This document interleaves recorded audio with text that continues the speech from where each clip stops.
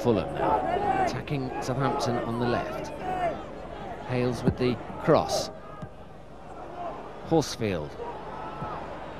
Tees it up to Hayward. What a shot from Steve Hayward! He didn't have much room there to squeeze it in, but Hayward has struck.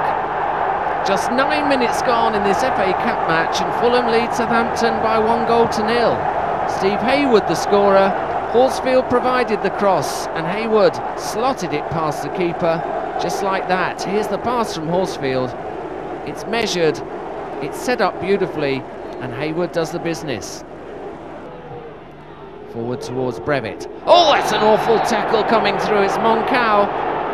The referee right on the spot, Dermot Gallagher, and Monkou knows the inevitable.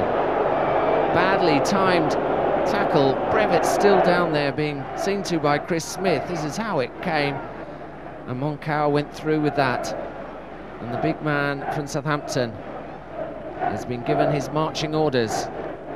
Southampton down to 10 men into the last minute now, and Fulham still leading 1 0 with Steve Hayward's ninth minute goal. Kachloul with the cross.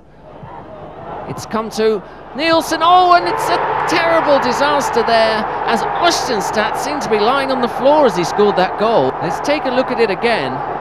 As the cross comes over, there's disaster in the Fulham area, and Ostenstad scores.